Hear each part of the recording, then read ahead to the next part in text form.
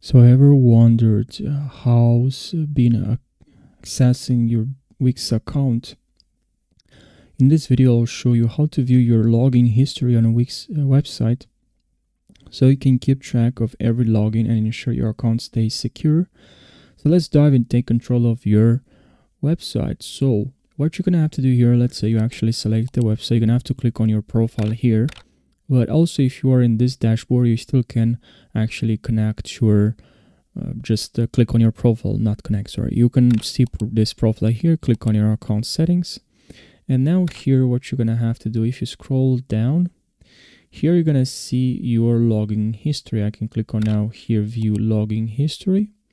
And now here what i'm gonna have to do here if i want to log out of all devices because I already logged out uh, I can click on here log out from all devices. I'm going to select this and I'm going to click on next and just click on log out. So I hope you found this uh, short Wix tutorial helpful. If you have more questions about uh, Wix let me know in the comments section and now I'll see you in the next video. Take care